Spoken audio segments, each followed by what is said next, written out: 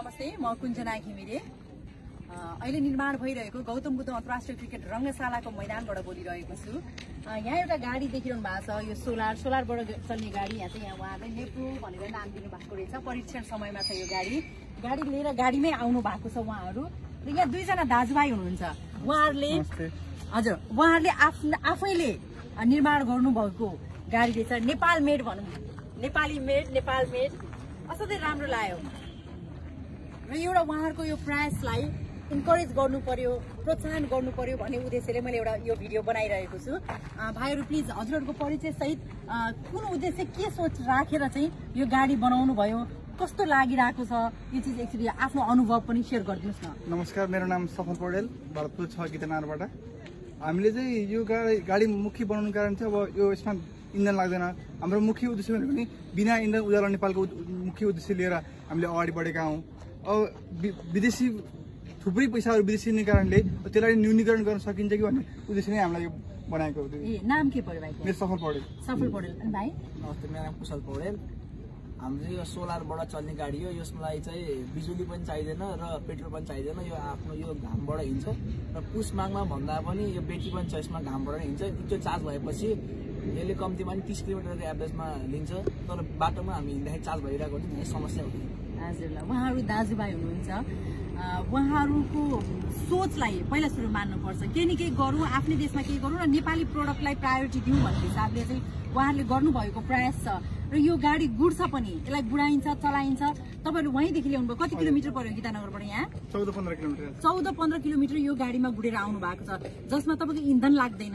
होइन? अब त्यति भन्नुपर्दा यो बिजुली पनि खपत हुँदैन। सोलरबाट बिल्कुलै सोलरबाट चलाउन सकिन्छ भनिसके पछाडि सूर्य भगवान जबसम्म हाम्रो साथमा हुनुहुन्छ गाडी गुडिरहन्छ हेर्नुहोस्। यो हिसाबले बनेको गाडी भनेपछि यसले एउटा आत्मनिर्भरताको पनि परिचय दिन खोजेको जस्तो लाग्छ। गाडी हेर्दा ठिकै जस्तो लाग्छ। हेर्दा हेर्दा किनकि उहाँहरूले यो गुडाउने प्रयास गर्नु भएको छ यसलाई डेकोरेट गर्ने चिज भनेको तपाईँ हामीले भोलि यस्तो चिजलाई प्रोत्साहन दिएर यसलाई राम्रो एउटा केटी मान्छेको स्वरूप दिने भनौँ न ब्युटिफुल एउटा सुन्दरता भर्ने हुने हामीले यहाँ विभिन्न कभरहरू लगाएर माथिपट्टि हुड पनि राम्रोसँग राखेर भोलि यसलाई नै अलिकति एडभान्स बनाउने हिसाबमा चाहिँ स्विच दबाएर चाहिँ तपाईँको गेट खोल्ने हिसाबले होइन सबै चिजले हामीलाई यसलाई प्रयोजनमा ल्याउन सक्छौँ। मात्र यसको इन्जिनका कुराहरू हुन्छ हेर्नु न स्टेरिङ कस्तो युनिक छ।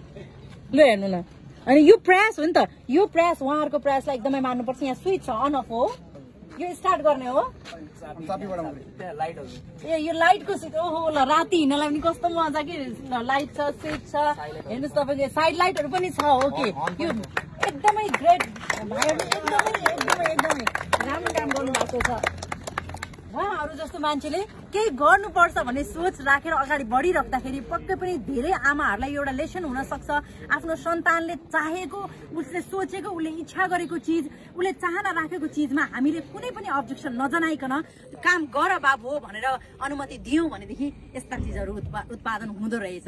त्यही भएर हामीले बढी आफ्नो बच्चा भइसकेपछि चिन्ता गर्ने भन्दा पनि उनीहरूको कुरालाई चिन्तन गरेर चाहिँ उनीहरूले चाहेको बाटोमा उनीहरूलाई चाहिँ हौसला प्रदान गर्यौँ भने हाम्रो सन्तानहरू पक्कै पनि कुलतमा लाग्नुहुने छैन जस्तो लाग्छ।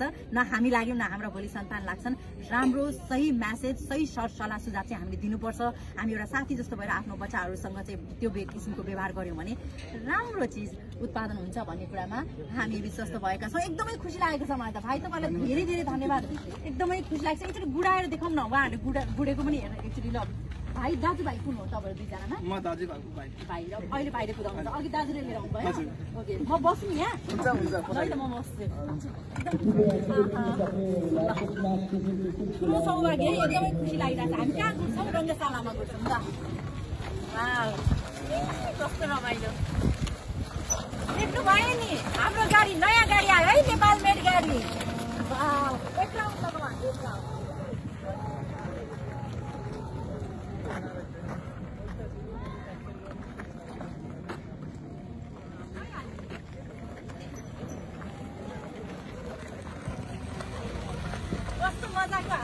एसी सहितको गाडी ल्याएर देख्नुभयो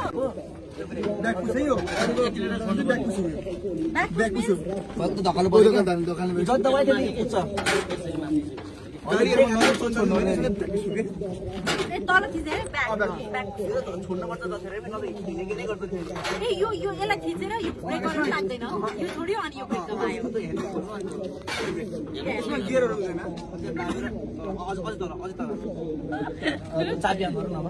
एकदम एकदम एकछिन वेट जस्तो चाबी अन गरेँ मैले केही पनि थिचेन भने स्टिल यति बस्छ। मैले जब यो एक्सिडेन्ट दबाउँछु ब्रेक यो ब्रेक हाल्दै है त्यो चाबी हाल्नु जति जति थिच्यो उति स्पिड जाने त पहिला बिस्तारै ट्राई गर्नु अनि एकछिन हात बसिदिँदै हुन्छ खुल्यो होइन। अगाडि नगरिदिनुहोस् न यो मेरो यो किपट अलिक बाक्लो भयो नि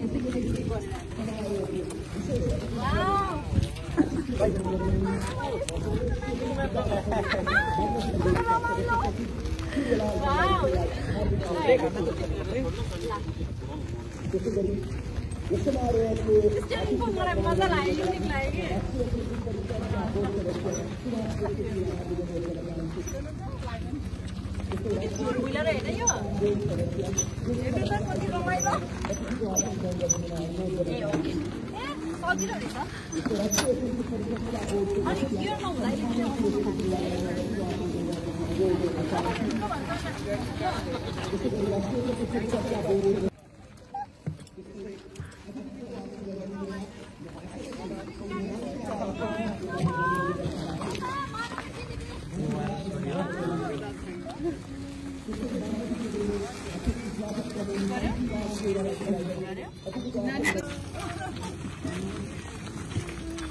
मलाई मजा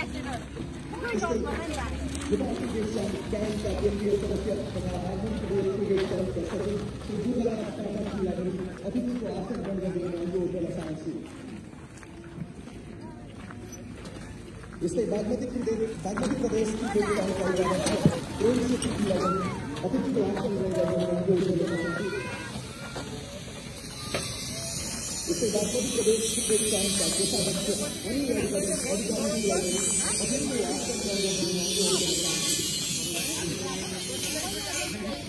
सिद्धार्थी